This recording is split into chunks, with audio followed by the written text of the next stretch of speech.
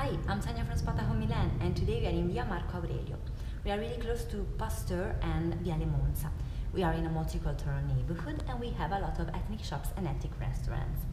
We are quite close to the underground, the red line with the stop Pasteur and also we are close to Piazzale Loreto with the red and the green line. And today we are in a little apartment, really, really luminous, really comfortable we have one bedroom, one living room with a bunk bed and one bathroom. And now I enter and I show you this place. We are at the third floor with the elevator.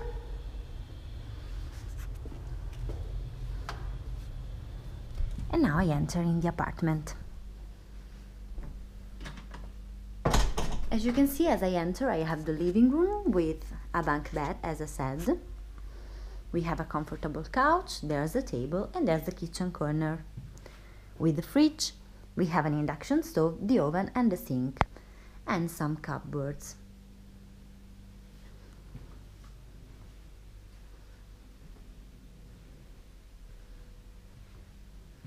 Now, I'm showing you the bathroom. Here we are.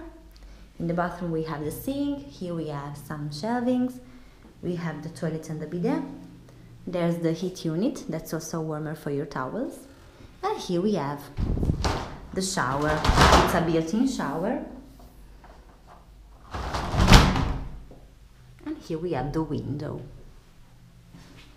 And now I'm showing you the bedroom. This is a really comfortable one. We have a double bed. We have a wardrobe over there. And we have some drawers and a television from this room and also from the other room, from the living room, we can access to this balcony. It's a really comfortable place. Here we will have the washing machine.